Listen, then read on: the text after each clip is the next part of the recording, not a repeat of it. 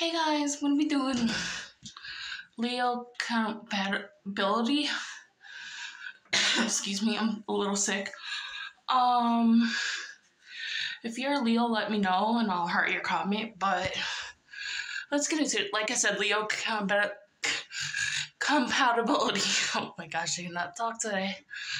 Um, so Leo's a fire sign, obviously, and I find they go best with fire signs or, or air air signs. Um, so like a Leo and Libra would be really good couple. I feel like, or a Leo and uh, Sag would be an amazing couple. Leo and Sag would be a dominant couple. I would love that. Or Leo and Aries too, amazing couple. Um. Now, Leos, they don't go well with water signs or earth signs. Like, if you're an earth or water, you, you and Leo probably won't work out nine times out of ten.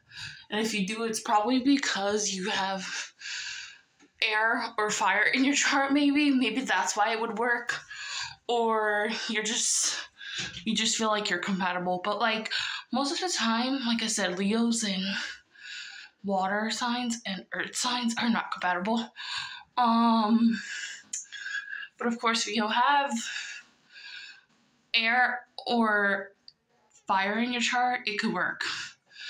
Um, as far as Leos with friendships, any friendship could work as long as you guys understand each other's boundaries and respect each other and just you know respect when each other needs space are there for each other all of that like if you could do all that then a friendship with Leo would work out fine.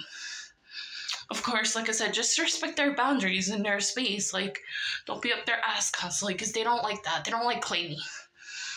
I would know that because I dated one I'm fucking clingy and my partner was not at the time. Um, so yeah.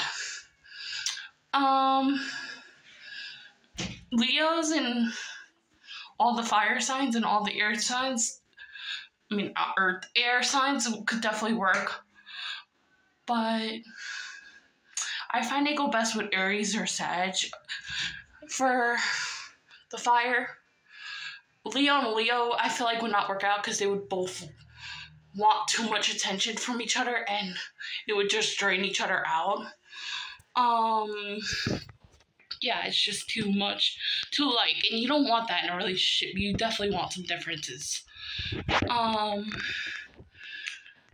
now Leo and Libra would be an amazing couple because it would be balance, which you need that. Uh, Leo and Aquarius would also be a good couple.